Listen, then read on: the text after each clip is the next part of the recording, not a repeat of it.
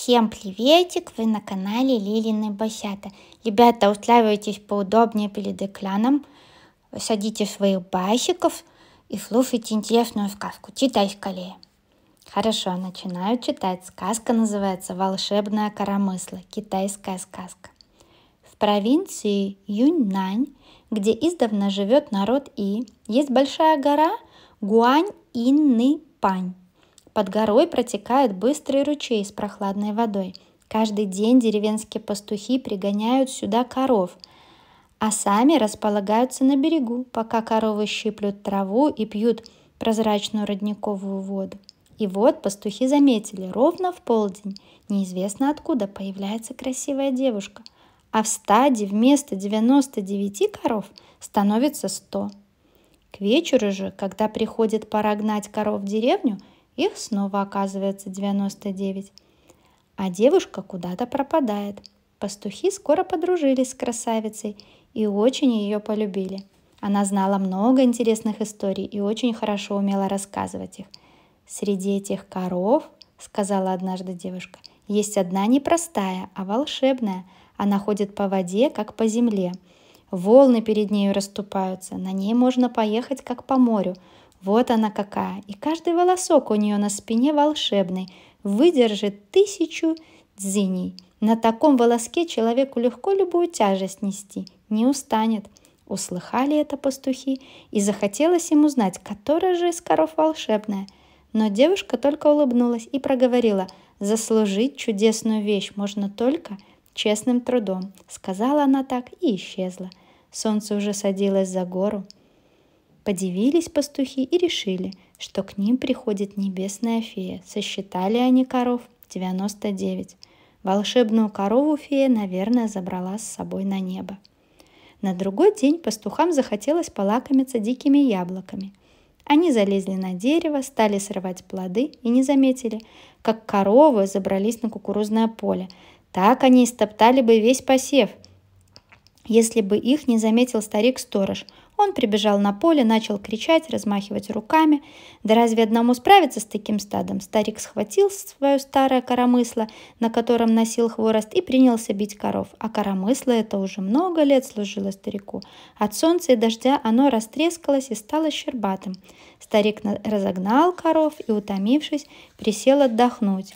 Но и не заметил, что в трещинах его старого коромысла застряли клочки коровьей шерсти – Солнце клонилось к западу, пора было идти домой. Старик набрал две вязанки хвороста, повесил их на коромысло и удивился. Что это? Почему так легко нести? Он прибавил еще вязанку и даже не почувствовал ее веса. Прибавил еще одну, а коромысло так и не стало тяжелее. Что за чудеса? Старик увешал хворостом все коромысло, оставив между вязанками только узенькую щель для плеча.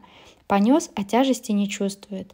И пошел он по дороге необычно быстро. Точно кто-то подгонял его. Довольно вернулся старик домой, и хворосту много принес, и не устал совсем. С того дня стал он носить на базар огромные вязанки хвороста. Денег у него теперь стало и на еду, и на питье, да еще и оставалось. И зажил он много лучше прежнего. Как-то раз шел старик с хворостом в город и повстречал на дороге богача. Тот удивился, что старик несет огромный груз, и удивился, неужто старому человеку под силу нести столько? Остановил богач старика и стал расспрашивать. «У меня чудесное коромысло», — отвечал тот. «Сколько ни нагрузи на него, тяжести не чувствуешь». Богач не поверил, попробовал сам. «Да, старик правду сказал, коромысло с хворостом было словно без груза». Разгорелись у богача глаза, и стал он просить старика, «Продай мне твое коромысло, я дам тебе за него пятьсот лан серебра. Долго не соглашался старик, жаль ему было с таким коромыслом расставаться. Но богач пристал, как комар. «Продай да продай». «Ну хорошо», — подумал старик. «Я на эти пятьсот лан серебра до конца жизни сыт буду, а ты потрудись, пособирай хворост». Старик получил серебро, а богач волшебное коромысло. И пошли они каждой своей дорогой. Богач вернулся домой, глядит на свое коромысло, не нарадуется. Теперь он рассчитывает всех батраков и будет носить, рассчитать всех батраков, батраков и будет сам носить хворост. Он стал поглаживать коромысло и заметил на нем трещины. Тогда богач отправился к деревенскому плотнику и велел ему получше обстругать и отполировать коромысло, чтобы оно блестело. Плотник взял рубанок, прошелся им разок-другой и снялся шерстинки волшебной коровы. Коромысло стало гладким, блестящим, но волшебная сила его пропала. Вернулся богач домой и начал хвастать перед женой своей покупкой. Та подумала, в прошлом году, когда богатый урожай собрали, и то он так не радовался, видно, и вправду ценную вещь купил – Захотелось ей самой испытать чудесное свойство коромысла. Повесила она на него сначала маленькую вязаночку хвороста, спину бы не сломать. «Да не бойся!» – закричал ей муж. «Коромысло ведь волшебное, целый дом повесь, и то не почувствуешь». Он притащил две огромные вязанки хвороста и повесил на коромысло. «Ну теперь подымай!»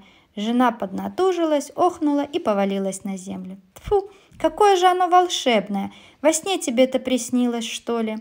Разве женщина может понять истинное волшебство, подумал богач. Он добавил еще две вязанки хвороста, рванул коромысло, что было сила, и оно переломилось. Так и должно было случиться, ведь волшебную вещь можно заслужить только честным трудом. Интересная сказка, правда, ребята? Да, интересная. Нам понравилось. Басики, Ребята, вам понравилось? Надеемся, что да. До встречи в следующем видео. У нас все будет много интересных видео и с прогулками, и с тем, как мы играем, и наши денечки, влоги, и сказки, и всякое разное интересное. Оставайтесь с нами, подписывайтесь, если еще не подписаны. Мы вам будем всем очень и очень рады. Всего вам самого хорошего. Будьте счастливы. Пока-пока.